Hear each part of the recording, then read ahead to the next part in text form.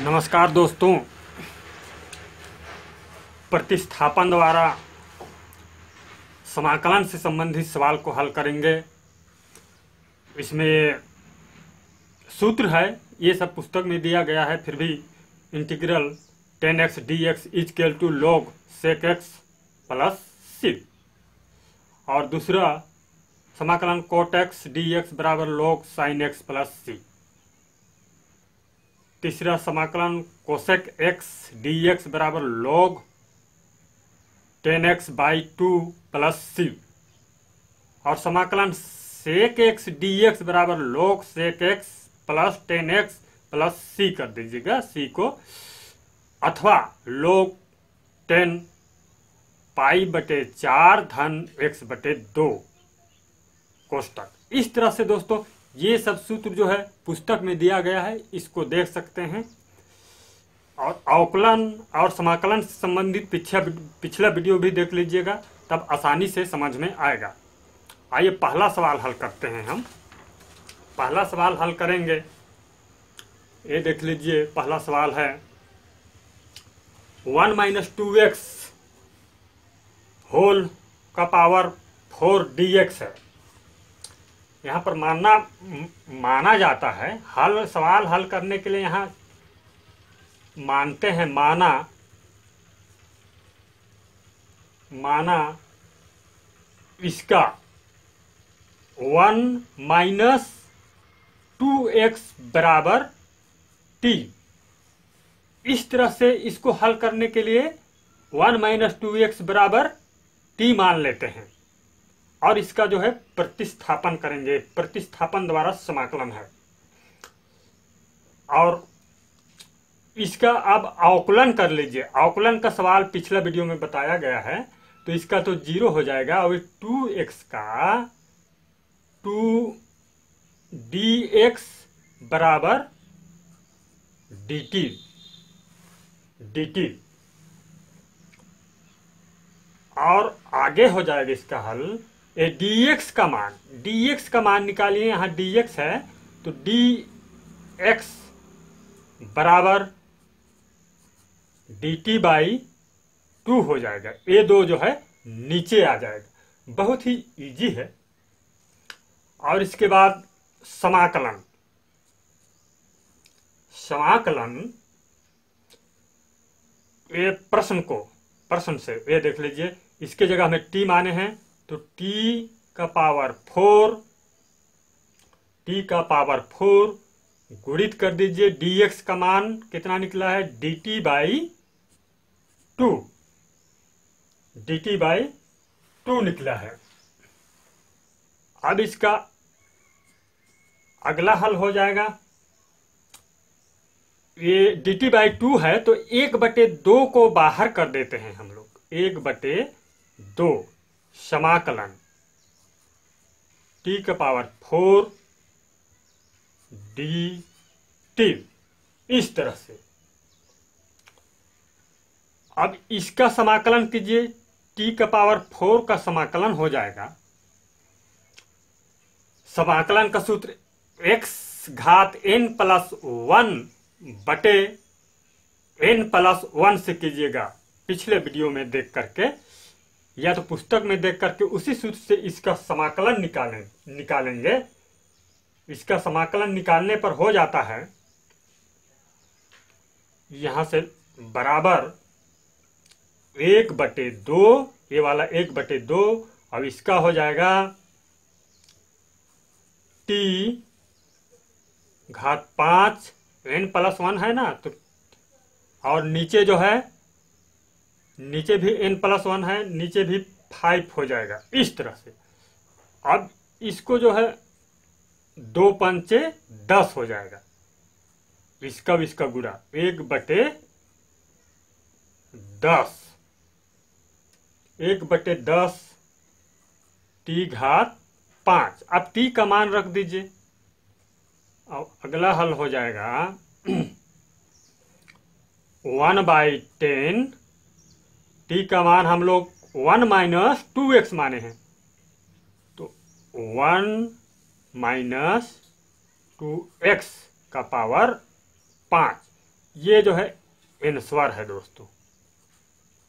Answer इस तरह से जो है आसानी से हल कर सकते हैं। और नेक्स्ट सवाल। नेक्स्ट अगला सवाल देख लेते हैं। दूसरा चार धन पाँच एक्स क्यूब डी एक्स यानी कि पावर थ्री है।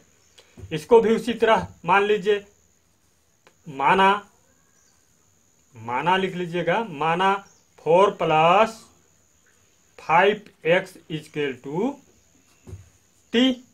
अब इसका अवकलन कर लीजिए, यहाँ पर लिख देता हूँ अवकलन। अवकलन।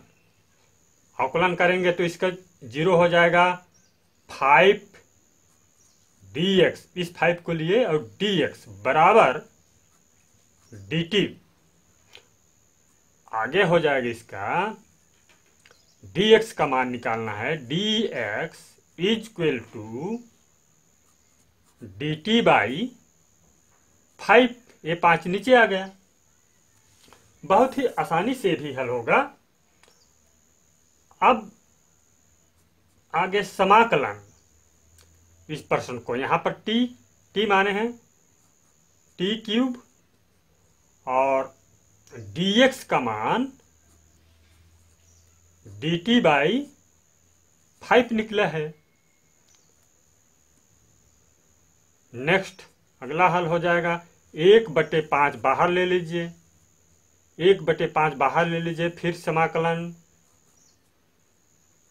टी क्यूब डी टी इस तरह से। टी क्यूब डी टी अब इसका हल हो जाएगा बराबर एक बटे पाँच टी फोर समाकलन कर लीजिएगा यहाँ। टी क्यूब का टी घात तीन का टी फोर बटे फोर। अब नेक्स्ट अगला हो जाएगा। अगला हल एक बटे पाँच। एक बटे पाँच। पाँच नहीं, इसको डायरेक्ट मल्टीपल कर दीजिए, चार पंचे बीस। यहाँ पर ट्वेंटी कर दीजिए, बीस। बीस और टी का पावर फोर बराबर हो जाएगा एक बटे बीस और टी का मान रख दीजिए। टी का मान फोर प्लस फाइव एक्स घात चार हो जाएगा। इस तरह से आसानी से हल कर सकते हैं दोस्तों एन ए एन स्वर। है ठीक, अब नेक्स्ट सवाल देख लीजिए।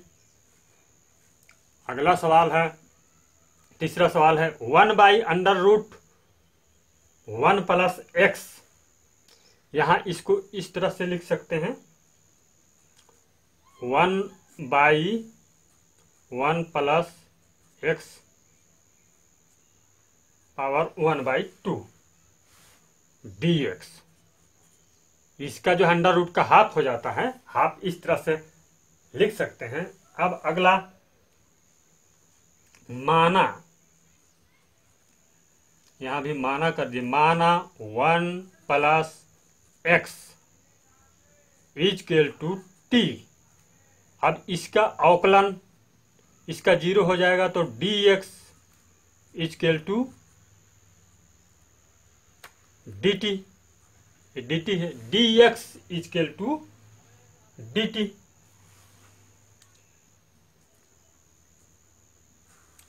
अब इधर कर देते हैं। D x is equal to d t अब इस प्रश्न से one by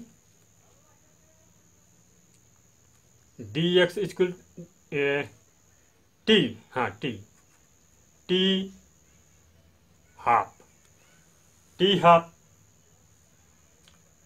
t half हो गया और डी एक्स के जगह डी टी इस तरह से। आगे, ये देख लीजिए, यहाँ जो है, ये हाफ़ जो है ऊपर जाएगा तो हो जाएगा समाकलन। यहाँ भी समाकलन है। समाकलन t minus one by two हो गया। माइनस हो जाता है, ऊपर जाता है तो डी टी इस तरह से बहुत ही आसानी से हल होगा। और आगे हो जाएगा ये। इधर कर देते हैं हल अगला हल हो जाएगा। बराबर।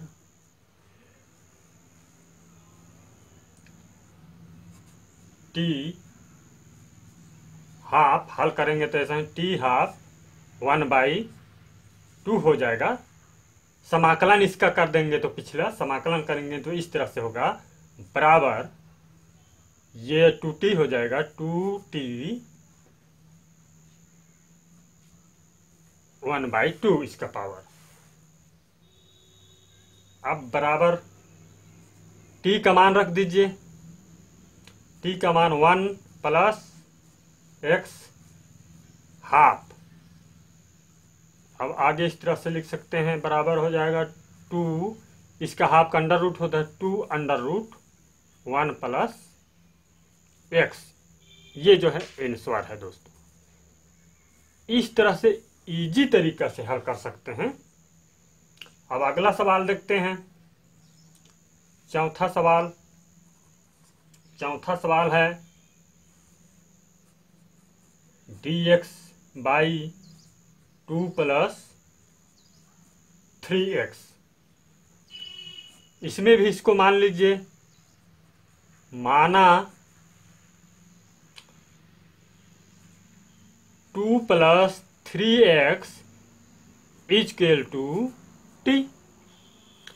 इसका आप समाकलन कर दीजिए, इसका ज़ीरो हो जाएगा थ्री डी एक्स। ये जो एक्स लगा है इसी का समाकलन नहीं दोस्तों, अवकलन। इसका अवकलन कर लीजिए। अवकलन सॉरी अवकलन करना है इसका।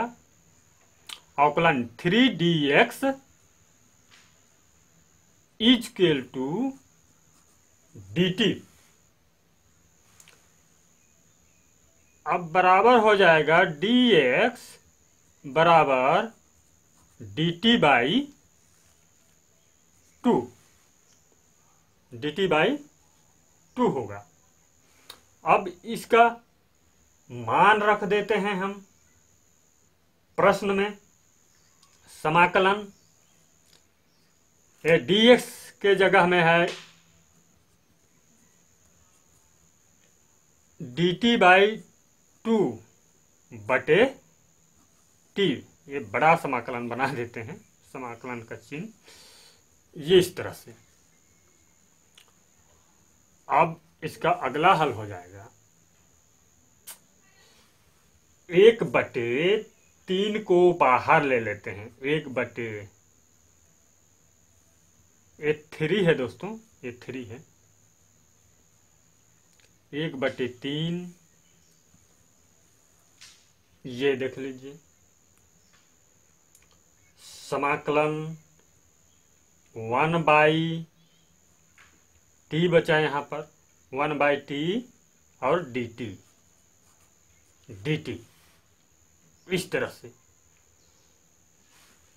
अब आगे हो जाएगा। One by three. एक ब, एक बटे टी का मान होता है। एक बटे टी एक बटे टी बराबर होता है। लोग टी होता है। एक बटे टी का मान लोग टी होता है तो हम यहाँ पर लोग टी रख दिए। और टी का मान रख दीजिए। टी का मान हम क्या माने हैं?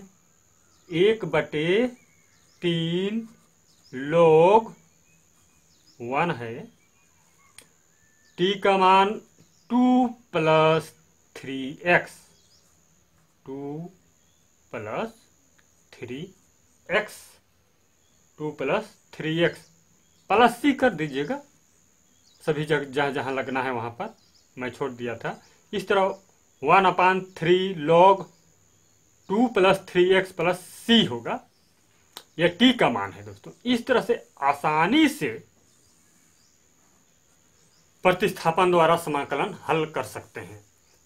हमारे इस चैनल को सब्सक्राइब कीजिएगा दोस्तों। धन्यवाद।